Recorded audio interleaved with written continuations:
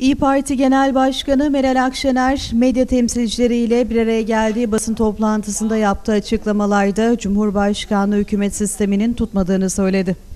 Cumhurbaşkanlığı hükümet sistemi keşke tutsaydı, biz yanılmış olsaydık ama maalesef tutmadı. İyileştirilmiş, güçlendirilmiş parlamenter sistem önerisinde bulundu. Dolayısıyla biz bir çözüm önerisi ortaya koyduk. İyileştirilmiş, güçlendirilmiş parlamenter sistem. Kısa, öz, açık, seçik bir anayasayla birlikte parlamenter, iyileştirilmiş, güçlendirilmiş parlamenter sisteme geçişin Türkiye için elzem olduğuna inanıyoruz. Dilek İmamoğlu ve Selvi Kılıçdaroğlu'nun eski HDP eş genel başkanı Selahattin Demirtaş'ın Devran isimli kitabından sahneye uyarlanan tiyatro oyununu izlemeye gitmesine ilişkinde değerlendirmede bulunan Akşener, siz davet edilseydiniz gider miydiniz sorusuna bakın ne yanıt verdi. Ben hanımefendi, bakın hanımefendilik başka bir şey ama ben bir siyasi partinin genel başkanıyım ve bir kurumsal yapıyı temsil ediyorum. Ben gitmezdim. Ha eşim davet edilse gider miydi o da gitmezdi.